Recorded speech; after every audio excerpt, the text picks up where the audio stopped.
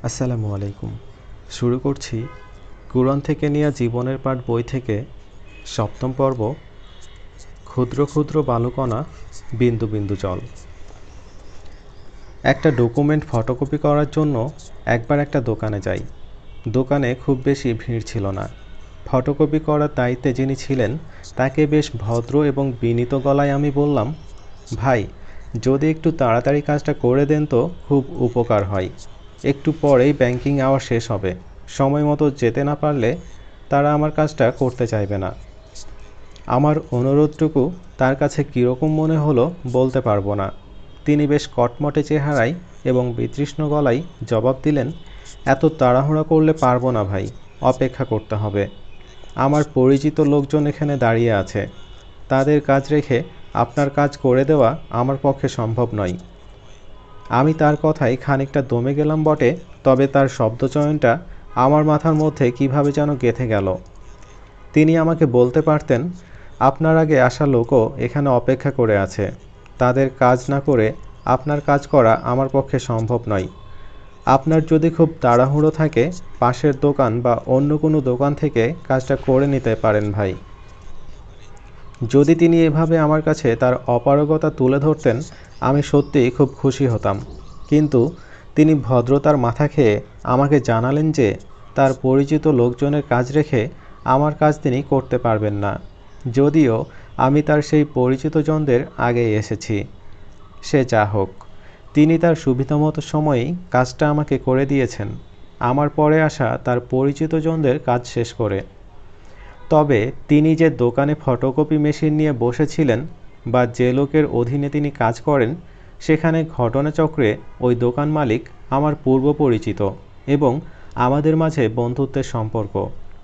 বেশ অদ্ভুতভাবে আমি যখন ওই দোকান থেকে বের হতে যাব, ঠিক তখনই সেখানে আমার ওই বন্ধু, অর্থাৎ দোকান মালিক এসে হাজির হলেন এবং আমাকে দেখা মাত্রই তিনি বেশ সরস করায় বললেন, আরে ভাই সাহেব যে কখন এলেন?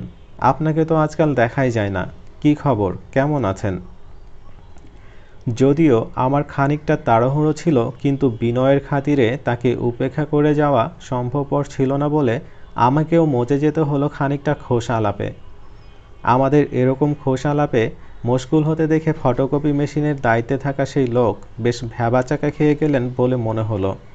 তার চোখে মুখে বিস্ময় এবং চেহারায় বিপন্ন অবস্থা। তিনি বোধহয় কল্পনাতেও ভাবতে পারেননি যে একটু আগে যার সাথে তিনি কড়া ভাষায় কথা বলেছেন, সে তার মালিকের বন্ধু মহলের কেউ। আর বিপন্ন বোধ করার কারণ হতে পারে এই, তিনি মনে করেছেন, খানিক আগে তার রূঢ় আচরণের ব্যাপারে আমি তার মালিকের কাছে অভিযোগ জানাব এবং এতে করে তার চাকরিটা চলে যাবে। মানুষের এই আচরণটা আমার কাছে বড্ড অদ্ভুত লাগে।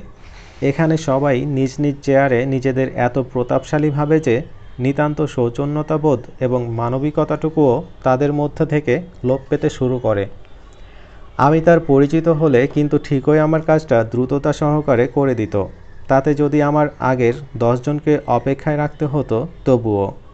অথবা আমি যদি দোকানে ঢুকেই তাকে দোকান মালিকের পরিচয় দিতাম এবং বলতাম যে, আপনার মালিক আমার ঘনিষ্ঠজন। তখন কিন্তু সে নিজের চেয়ার ছেড়ে আমাকে বসতে দিত এবং দরকারে আপ্যায়ন করাতে ব্যতিব্যস্ত হয়ে উঠত। কাজের টাকা তো নিতই না, দিতে গেলেই লজ্জায় পড়ে যেত। এই যে দুটো অবস্থায় দুরকম আচরণ, এই দ্বিচারিতা মানুষ কেন করে? আমার ধারণা, অন্তরে তাকুয়ার অভাব থেকেই সাধারণত মানুষ এমনটা করে থাকে। মানুষ ভাবে, কেবল মসজিদে গেলেই শুধু তারা আল্লাহর পর্যবেক্ষণের আয়তায় আসে। অথবা সালাতে দাঁড়ালে কেবল আল্লাহ সুবাহানুয়াতালা তাদের দিকে মনোনিবেশ করেন। এর বাইরে দুনিয়ায় আর বাদবাকি যা কিছু তারা করে, এসবের কোনোটাই মনে হয় আল্লাহ সুবাহানুয়াতালা তদারকি করেন না বা তিনি সেসবে নজরও দেন না। এমন ধারণা থেকেই কি মানুষ ইবাদতের বাইরে অনেক বেশি অন্যায় অন্যায্য কাজ আর জুলুমে নিয়োজিত হয়ে যায়? হতে পারে। আমাদের অতিবাহিত প্রতিটা সেকেন্ড, প্রতিটা মিনিট প্রতিটা পদক্ষেপ আল্লাহ তদারকি করছেন। আমরা যা করি, ন্যায্য বা অন্যায্য, ভালো বা মন্দ, সুন্দর বা কুৎসিত সব কিছুতেই মহান রবের রয়েছে সমান দৃষ্টি। তোমরা যেখানেই থাকো না কেন, আল্লাহ সারাক্ষণ তোমাদের সাথে আছেন এবং তোমরা যা কিছুই করো, তা সম্পর্কে তিনি অবশ্যই ওয়াকিবহাল। সুরা হাদিদ, আয়াত নম্বর চার।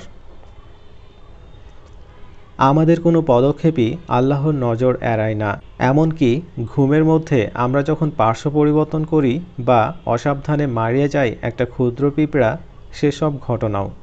পরিচিত নয় বলে আমি একজনের সাথে রুর আচরণ করলাম, তাকে কড়া ভাষায় জবাব দিলাম, তার কাজ দ্রুত করে দেওয়ার অবকাশ থাকলেও করে দিলাম না।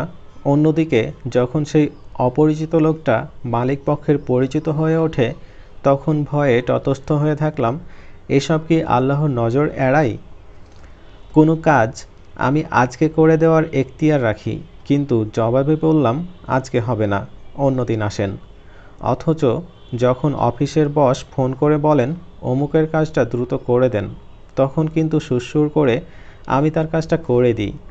একটু আগে যাকে জবাবে হবে না বলেছিলাম, বসের ফোন পেয়ে যখন সেই একই কাজ আমি মিনিট কয়েকের মধ্যে সেরে দিই আমার ওই মুহূর্তের দ্বিচারিতা কি আল্লাহ দেখেন না? আমাদের সামান্য অবহেলা, সামান্য অবজ্ঞা, সামান্য খবরদারি, এসবের কোনো কিছুই আল্লাহর নজর এড়ায় না। এমন টুকরো টুকরো বিষয়গুলো যখন কিয়ামতের দিন আমার জন্য আল্লাহর দরবারে অভিযোগ হিসেবে জমা হবে, কতখানি ভারী হবে সেই অভিযোগের পাল্লাটা ভাবা যায়? ক্ষুদ্র ক্ষুদ্র আমল যেভাবে আমলের পাল্লাটাকে ভারী করবে বেশি, তেমনি ক্ষুদ্র ক্ষুদ্র অনাচার, অবিচার আর অন্যায্য ব্যাপারগুলোও পাপের পাল্লাকে ভরে তুলবে। আমরা তো সকলে পড়েছি।